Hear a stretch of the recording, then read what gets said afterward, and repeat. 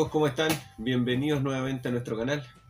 En esta ocasión quiero comentarles sobre las principales plagas que afectan a nuestros huertos y a nuestros jardines. este capítulo lo vamos a separar en, dos videos. Uno, que es este, vamos a hablar sobre las plagas propiamente tal.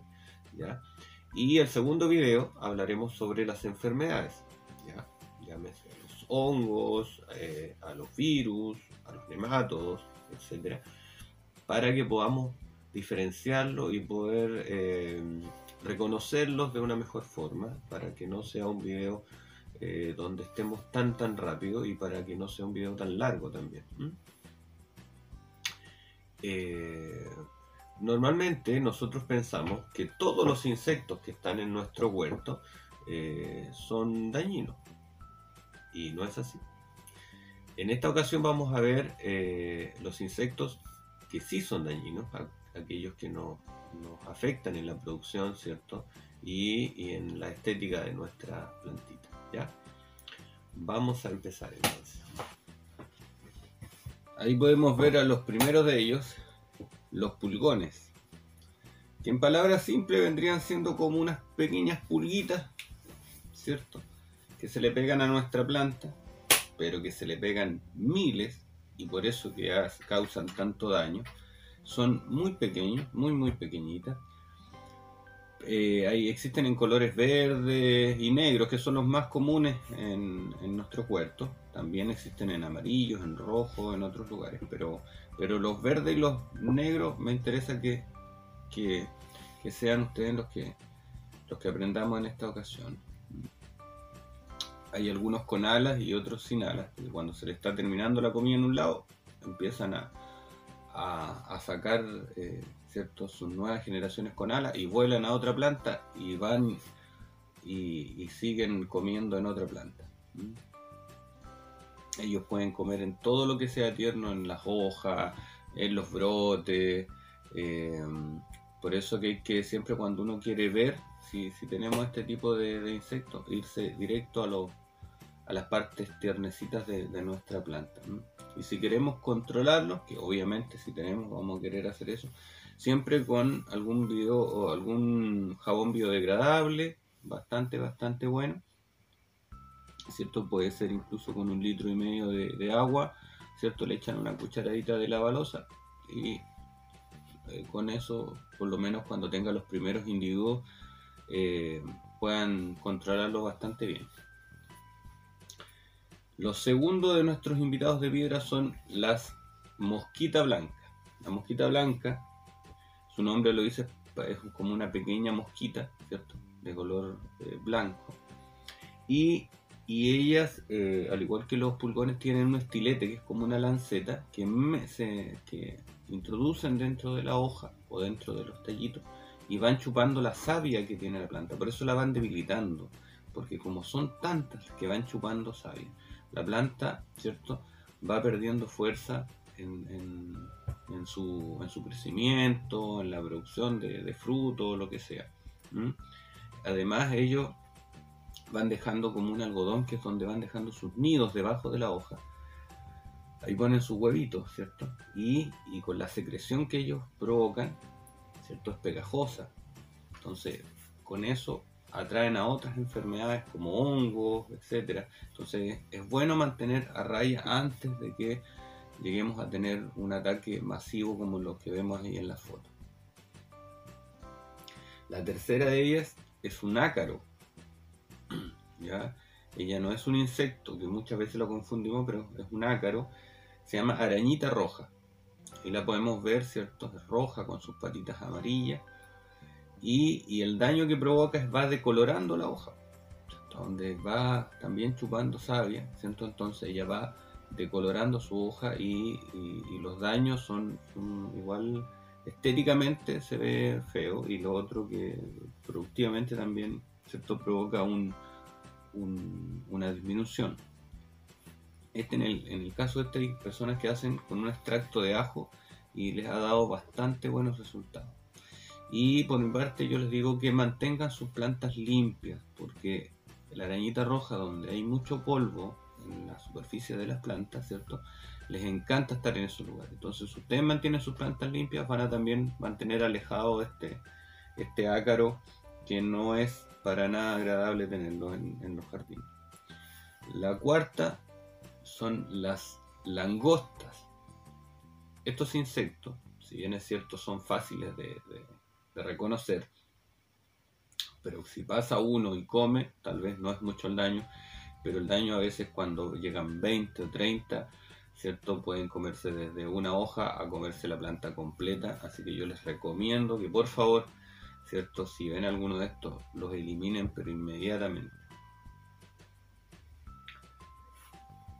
Los quintos son los caracoles y las babosas. Los caracoles y las babosas, ¿cierto? Normalmente van a estar en lugares húmedos o sombríos, estos patios que son eh, normalmente más, más sombríos van a encontrar usted en eh, los caracoles y las babosas. Y ella es fácil reconocerlos también, aparte que las van a ver, eh, que dejan, van dejando su huella, ¿cierto?, de mucosidad, su babita la van dejando, por lo tanto, cuando vean esto, coloquen unos pocillos con poquitos de cerveza y van a poder ahí, ¿cierto?, capturarlas para después botarlas hasta que ya no quede ninguna. Estos invitados son muy desagradables porque las larvas, orugas o cuncunas o gusanos, llámenle como quieran, ¿cierto? Pero estos son siempre un estado juvenil de, otro insecto. O sea, eh, estos gusanitos, estas larvas, normalmente son, ¿cierto? La parte juvenil de una mariposa o una polilla que siendo mariposas a veces son muy bonitas, pero como larvas son muy dañinas. Pueden comerse los frutos, se comen los tallos, las hojas, lo que encuentran, ¿cierto? Así que les recomiendo también mantenerlas bastante raya a, la, a, a estas orugas, larvas, gusanitos. Les recomiendo usar un jabón biodegradable igual, ¿cierto? En las mismas proporciones que les dije recién para poder mantener esto siempre y cuando vean unos pocos no esperen a que eh, a ver muchos para poder recién tomar cartas en el asunto ¿ya?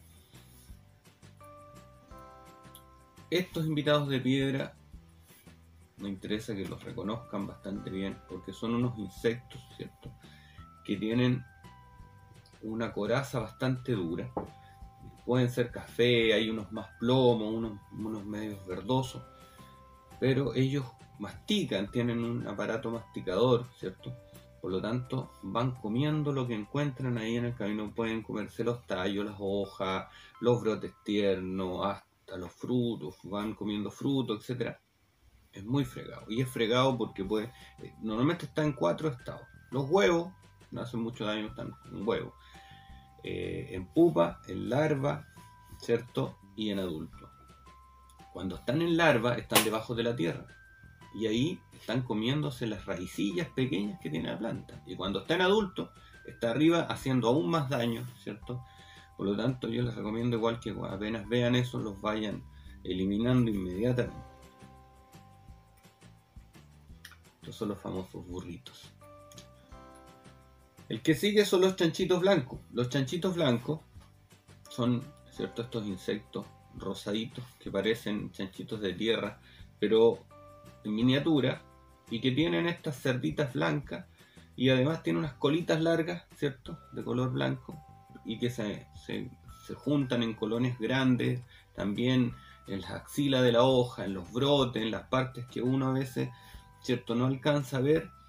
Ahí están comiendo siempre la parte tierna de la hoja, chupando su savia, ¿cierto? Y debilitándola por lo tanto, es importantísimo también que siempre estén mirando sus plantas. De esa forma van a poder eh, evitar mucho daño de insectos. También con un jabón biodegradable van a poder eh, evitar el ataque de estos, de estos insectos bastante desagradables. Ahí lo están viendo en diferentes estados.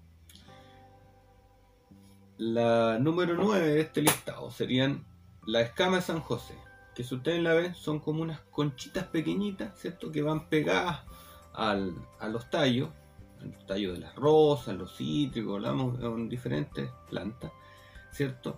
Y el insecto es de color amarillo, pero ustedes pueden ver ahí que está cubierto por una escama que es de color grisácea, media cafezosa, ¿cierto? Que es la que las cubre y las protege del exterior. Entonces lo que nosotros tenemos que hacer es poder aplicar un producto que sea a base de aceites, puede ser un aceite miscible, para sellar eso, porque ella puede respirar, pero no le hace mucho daño el ataque externo. Entonces, si yo aplico un, aceite miscible, en este caso, asfixio, para que pueda recién morir este insecto que es bastante, bastante difícil de, de sacar en algunos, en algunos casos, ¿ya?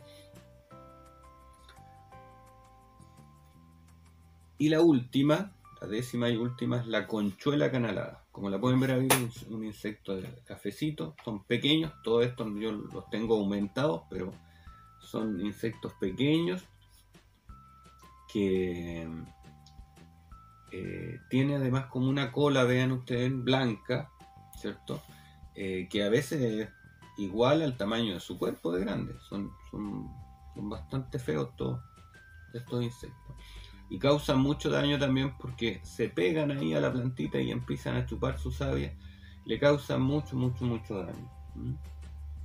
También, al igual que la escama San José, es bueno aplicarle un, aceite miscible, ¿cierto? Unos 100 cc por 10 litros de agua, van, andan bastante bien. Ojalá aplicarlo en otoño, invierno, para que eh, con eso ustedes eh, puedan tener controlada esta plaga. Esa sería la, la décima y última que tenemos por ahora. Bueno amigos, así concluye este primer capítulo de este video, ¿cierto? Eh, en el cual hemos podido repasar las plagas más eh, recurrentes y más importantes que tenemos en nuestros huertos y en nuestros jardines. Cualquier duda, cualquier consulta, como siempre, me la dejan llegar aquí en la caja de comentarios. Suscríbanse a nuestro canal y recuerden que aprendiendo cultivamos futuro. estén bien.